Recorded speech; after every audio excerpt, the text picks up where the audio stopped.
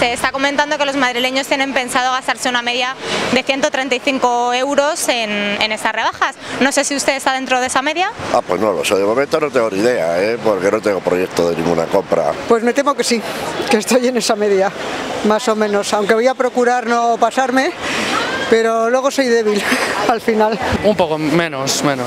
Bueno, por el momento no, nosotros venimos permanentemente acá y cada que podemos nos damos un salto y compramos algo. ¿Y en qué tiene previsto gastarse la mayor parte del dinero? Más que otra cosa, ropa, zapatos, vestido, cosas de vestimenta.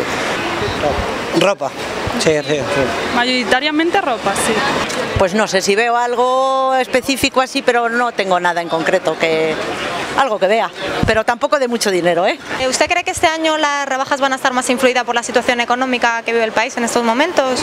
De alguna manera sí, pero es básicamente creo un poco esa tendencia a magnificar las cosas que hay de parte de los medios de comunicación, la que está generando, aparte evidentemente de un problema eh, de cierto índole económico que afecta no solamente a nivel nacional, sino a nivel mundial, yo creo que la gente sigue comprando. Acabo de salir de comprar y la gente está comprando como siempre lo ha hecho.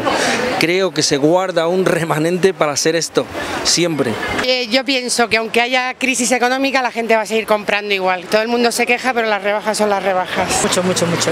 Mucho. ¿Por qué? ¿Eh?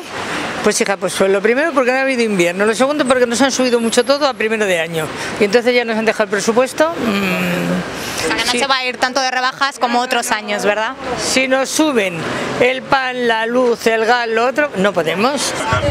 Pues eso dice la gente, pero luego todo el mundo está comprando como loco. Todo O sea el mundo decimos que no da de sí, no da de sí, pero aquí estamos todos comprando.